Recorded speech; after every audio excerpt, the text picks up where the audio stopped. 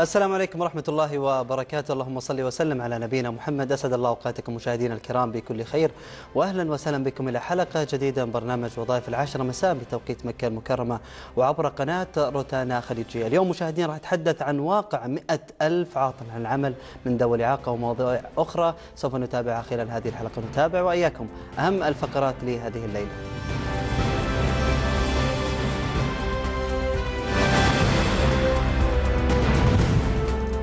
تشاهدون في هذه الحلقة أهم المانشيتات الصحفية.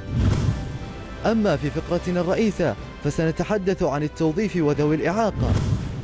وفي فقرة قول وفعل شركة الرياض للتوظيف وتوطين الوظائف.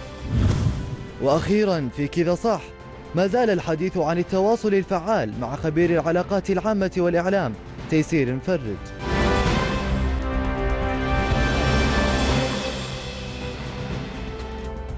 إذا مشاهدينا الكرام تابعنا وإياكم فقراتنا هذه الليلة. اليوم وقبل ما نذهب إلى فقرتنا المعتادة والرئيسية طبعا عن عناوين الصحف صحافتنا الحمد لله في استيعاب كبير جدا لهم المبشرات وأهم الأمور والأخبار التي تبث روح التفاؤل بالنسبة للباحثين العمل وأيضا بالنسبة لوظائف وواقع الوظائف.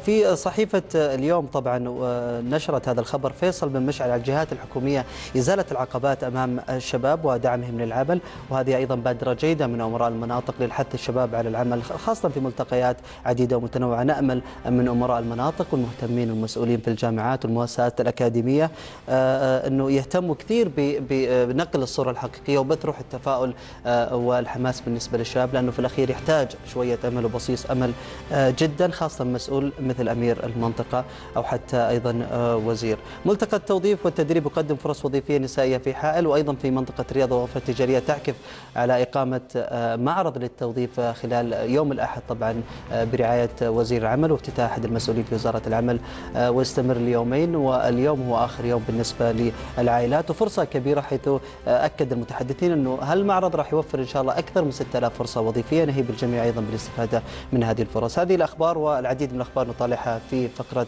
عناوين الصحف وواقع الأخبار.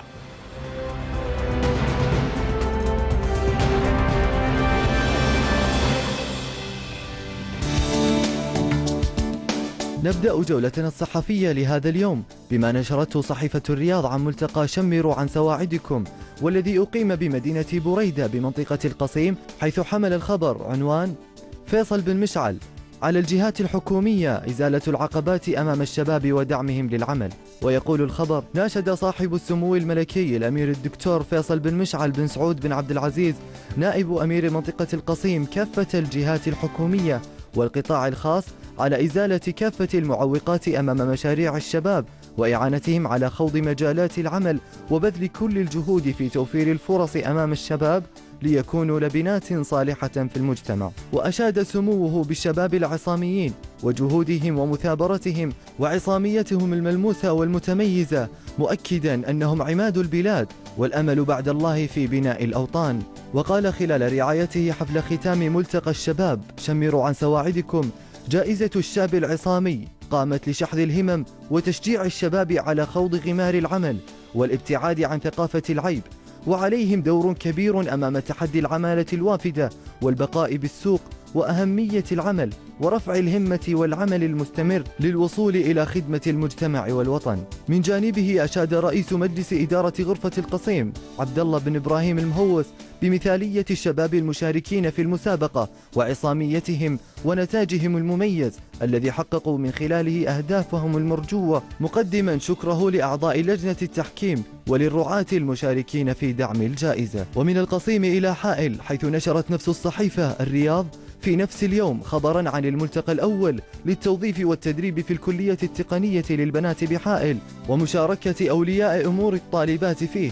ويذكر الخبر أن الملتقى يهدف إلى توفير فرص العمل والتدريب لخريجات الكلية إلى جانب الدورات التدريبية ومساعدة الخريجات على إيجاد فرص وظيفية مناسبة لهن. فيما شارك في الملتقى العديد من الجهات الحكومية والقطاع الخاص وتم خلال الملتقى فتح دائرة الحوار بين سيدات الأعمال ومنسوبات الكلية التقنية. ومن الحديث عن التوظيف في مناطق المملكة إلى الحديث عن أنماط التفكير لدى الشباب حيث نشرت صحيفة عكاظ خبرا بعنوان مدير حاضنات الأعمال والتقنية في جامعة الملك فهد سنغير نمط تفكير الشباب من البحث عن العمل إلى توفيره وينقل الخبر ما قاله مدير حاضنات الأعمال والتقنية في جامعة الملك فهد للبترول والمعادن الدكتور خالد الزامل إن هناك قناعة لدينا في تغيير نمط تفكير الشباب من البحث عن العمل إلى إيجاد فرص العمل بأنفسهم.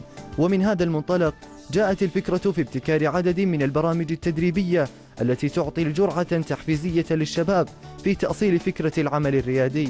وتحدث الزامل خلال برنامج لقاءات ومحاضرات الريادة الخليجية الذي ينظمها مجلس الغرفة السعودية بالتنسيق مع اتحاد غرف دول مجلس التعاون الخليجي متبني المبادرة التي استضافتها غرفة الشرقية في مقرها الرئيسي في الدمام اليومين الماضيين. عن العمل الريادي وتعريفاته ومنظومات الراءات السبعة التي تتمثل في الرؤية والرأي والرصد والرسم والرقابة والرضا ثم تناول المحاضر مقومات الشخصية الريادية وخصائصها كما استعرض قوالب توليد أفكار المشاريع الاستثمارية واغتنام الفرص وشرح مكونات خطط العمل. وناقش الزامل موضوع الفكر الريادي وأهميته في تعزيز ونشر ثقافة العمل الحر لدى الشباب الخليجي من خلال التنافس في إعداد خطط عمل المشاريع الصغيرة مشيرا إلى ضرورة تحويل جهود الشباب من البحث عن الوظائف إلى إيجاد الوظائف ودعم وتأسيس المشاريع الصغيرة التي تقدم قيمة مضافة للاقتصاد الخليجي.